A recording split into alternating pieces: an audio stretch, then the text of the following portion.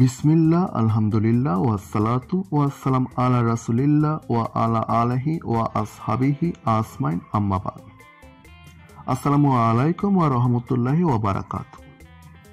আমাদের নবী মোহাম্মদ সাল্লাল্লাহু আলাইহি সাল্লাম, তিনি হচ্ছেন এই দো জাহানের বাদশাহ, তিনি হচ্ছেন আমাদের সকলের দিলের নবী, আমাদের সকলের প্রাণের নবী, আমাদের সকলের দয়ার নবী, যাকে আল্লাপাক স্বয়ং সমগ্র পৃথিবীর মানব জাতিদের হেদায়েত দানের জন্য, দিনের পথ দেখাবার জন্য পৃথিবীতে প্রেরণ করেছেন। প্রতিটা মুসলিমের জন্য আমাদের মুহাম্মদ সাল্লাহ আলাইসাল্লাম হচ্ছেন একজন উত্তম আদর্শ। তাকে অনুসরণ করা, তার কথাকে মেনে চলা প্রতিটা মুসলিমের দায়িত্ব শুধু মুসলিম নয় প্রতিটা অমুসলিমের দায়িত্ব হচ্ছে মুহাম্মদ সাল্লাহ আলাইসাল্লামকে অনুসরণ করা, তাকে মেনে চলা, তার প্রতিটা কথাকে, তার জীবনের প্রতিটা ঘটনাকে অনুসরণ করা। আল্লাপাক কোরআনে বলেছেন যে, তোমরা মোহাম্মদকে অনুসরণ করো, মোহাম্মদের মধ্যে রয়েছে উত্তম আদর্শ। আমাদের সকলের দিলের নবী মোহাম্মদ সাল্লাহ আলাইসাল্লাম তিনি বাজারে তার সাহাবার দাসী খুঁজতেন ওই দাসীর সাথে যৌনতা করার জন্য। অত্যন্ত মহান, চরিত্রবান আমাদের নবী মোহাম্মদ সাল্লাহ আলাইসাল্লাম চলুন আমরা সেই হাদিসের মাধ্যমে এই ঘটনাটি জেনে আসি এবং এই ঘটনার আলোকে আমরা আমল করার জন্য আল্লাহ পাকের দরবারে হাজারবার দোয়া করি আল্লাহ পাক যেন আমাদের সকলকে নবী মোহাম্মদের সুন্না অনুসরণ করার তাওফিক দান করেন। চলুন তাহলে আমরা হাদিসটি দেখে আসি। সহি মুসলিম হাদিস, ইসলামিক ফাউন্ডেশন, অধ্যায় তেত্রিশ, জিহাদ, হাদিস নাম্বার চার হাজার চারশো একুশ। জুহায়র ইবনু হারব ইয়াস ইবন সালামা থেকে বর্ণিত তিনি বলেন, আমার পিতা বলেছেন, আমরা ফাজারা গোত্রের সাথে যুদ্ধ করেছিলাম। আমাদের আমির ছিলেন আবু বকর। রাসুলাল্লাহ সাল্লাহু আলাইসাল্লাম তাকে আমাদের আমির নিযুক্ত করেছিলেন যখন আমাদের এবং গোত্রের পানির স্থানের মধ্যে এক ঘণ্টা সময়ের ব্যবধান ছিল। তখন আবু বকর আমাদেরকে শেষ রাতের অবতরণের নির্দেশ দিলেন। সুতরাং আমরা রাতের শেষাংশেই সেখানে অবতরণ করলাম। এরপর বিভিন্ন দিক দিয়ে অতর্কিতে আক্রমণ চালালেন এবং পানি পর্যন্ত পৌঁছলেন। আর যাদের পেলেন, হত্যা করলেন এবং বন্দি করলেন। আমি লোকদের একটি দলের দিকে দেখছিলাম, যাদের মধ্যে শিশু ও নারী রয়েছে। আমি আশঙ্কা করছিলাম যে তারা হয়তো আমার আগেই পাহাড়ে পৌঁছে যাবে। অতএব আমি তাদেরও পাহাড়ের মাঝে তীর নিক্ষেপ করলাম। তারা যখন তীর দেখতে পেল, থেমে গেল। তখন আমি তাদেরকে হাঁকিয়ে নিয়ে এলাম। তাদের মাঝে চামড়ার পোশাক পরিহিত বনি ফজরার একজন মহিলাও ছিল এবং তার সঙ্গে ছিল তার এক কন্যা। সে ছিল আরবের সবচাইতে সুন্দরী কন্যা। আমি সকলকেই হাঁকিয়ে আবু বকরের কাছে নিয়ে এলাম। আবু বকর কন্যাটিকে আমাকে নফল হিসেবে প্রদান করলেন। এরপর আমি মদিনায় ফিরে এলাম। আমি তখনও তার বস্ত্র উন্মোচন করিনি। পরে বাজারে আমার সাথে রাসুলাল্লাহ সাল্লাহু আলাইসাল্লামের সাক্ষাৎ হলে তিনি বলেন, হে সালামা, তুমি মহিলাটি আমাকে দিয়ে দাও।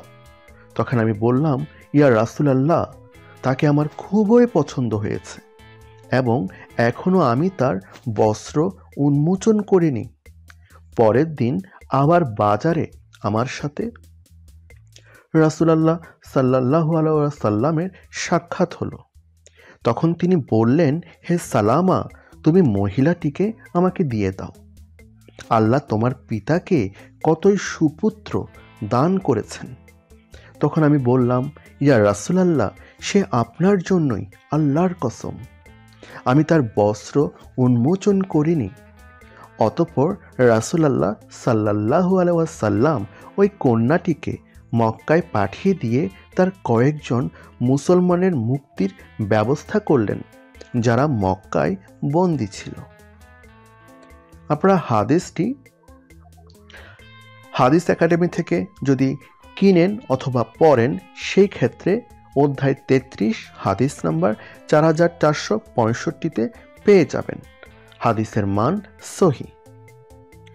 তাহলে আমরা দেখতে পেলাম যে বনু ফাজরা গোত্রের একজন মহিলা এবং তার কন্যাকে মোহাম্মদের সাহাবিরা আক্রমণ করে বন্দি করে নিয়ে এলো এবং এই মেয়েটির মা হচ্ছে উম্মে কিরফা এবং উর্মে কিরফাকে হত্যা করা হয়েছিল তার দেহটা মাঝখানে দ্বিখণ্ডিত করে।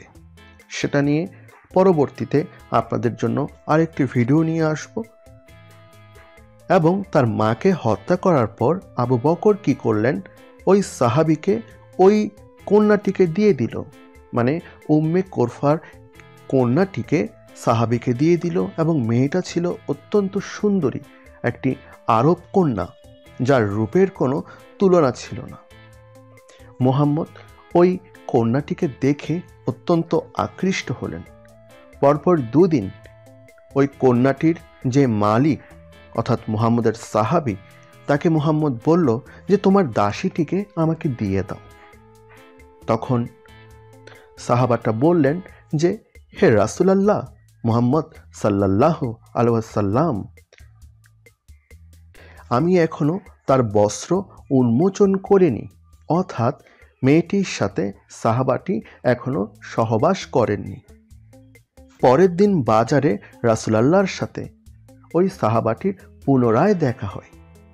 তখন মোহাম্মদ আবারও বলল, হে সালামা, তুমি দাসীটিকে আমাকে দিয়ে দাও।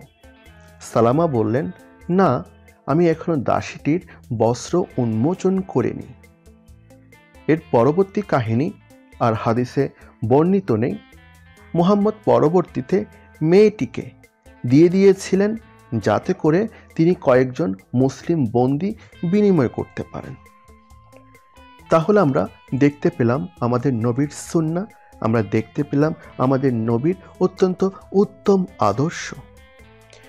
নবী মুহাম্মদের নির্দেশে আবু বকর ফাজারা গোত্রের উপরে আক্রমণ চালালো গোত্রপ্রধান, নারী নেত্রী উম্মে কিরফার দেহটা মাঝখান দিক দিয়ে ছিঁড়ে দুভাগ করে তাকে হত্যা করল এবং তার মেয়েটিকে দাসী হিসেবে বন্টন করে দিল। এবং ওই মেয়েটি, অর্থাৎ উম্মে কিরফার মেয়েটি এতটাই সুন্দর ছিল যে আমাদের দিলের নবী, দয়ার নবী, মানবতার নবী, উত্তম আদর্শের অধিকারী। নবী মুহাম্মদ সাল্লাল্লাহু আলহাসাল্লাম মেয়েটিকে বাজারের মধ্যে বারবার খুঁজতে লাগলেন। অর্থাৎ তিনি তার সাহাবার। দাসীর রূপ দেখে এতটাই মুগ্ধ হয়ে গেলেন যে ওই মেয়েটিকে না পেলে তার চলছিল না। পরপর দুদিন তিনি মেয়েটিকে চেয়েছিলেন সাহাবার কাছ থেকে, কিন্তু সাহাবা মেয়েটিকে দিতে অস্বীকার করলেন, কারণ সাহাবা তখনও মেয়েটির সাথে যৌনতা করেননি। আলহামদুলিল্লাহ, আমাদের এই নবীর চরিত্র, নবীর সন্না সাহাবাদের চরিত্র অদ্ভুত সুন্দর। আমরা মুসলিমরা এদেরকে অনুসরণ করব, আমরা মুসলিমরা এদেরকে মেনে চলব, এদের আদেশ, এদের নির্দেশ, এদের জীবনের চলার পথ সব কিছুই আমাদের জন্য উত্তম আদর্শ।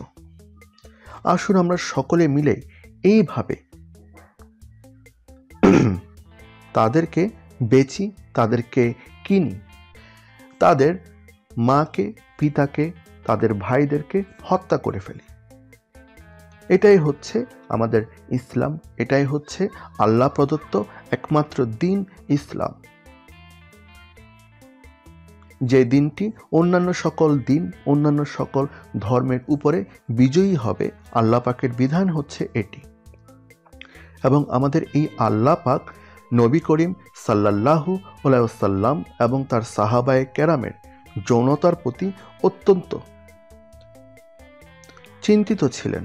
কেননা দাসী যখন আনা হয়, তখন একমাত্র কাজই হয় যে দাসীর সাথে যৌনতা করা, তাকে বেচা, বিক্রি করা, তার শ্রমের বিনিময়ে তার থেকে সুবিধা অথবা অর্থ আদায় করা।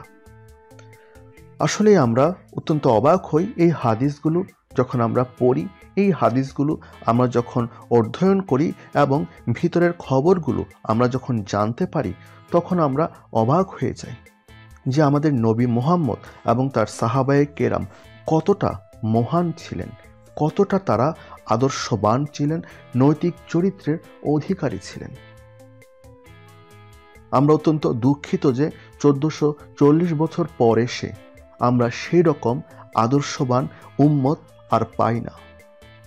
যদি সেরকম আদর্শবান উম্মত, সেরকম সাহসী উম্মত, সেরকম মুজাহিদ, আনসারদের মতো উম্মত এখন থাকতো, তাহলে পুরো পৃথিবীর প্রতিটি অঞ্চলে, প্রতিটি কোনায় প্রতিটি দেশে, প্রতিটি শহরে, প্রতিটি এলাকায়, প্রতিটি মহল্লায় আজকে ইসলাম কায়েম হতো এবং ইসলামের সুশীতল ছায়ায় সকলে এসে যেত আল্লাহ পাকের অসীম রহমত আমরা সকলেই অর্জন করতাম এবং আল্লাহ পাক আমাদের সকলকেই বেহেস্তে নিয়ে যেত।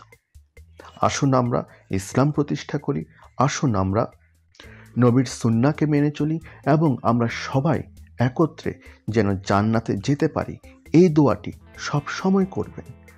সকল অমুসলিমদেরকে ইসলামের দাওয়াত দিবেন। যদি তারা ইসলামে না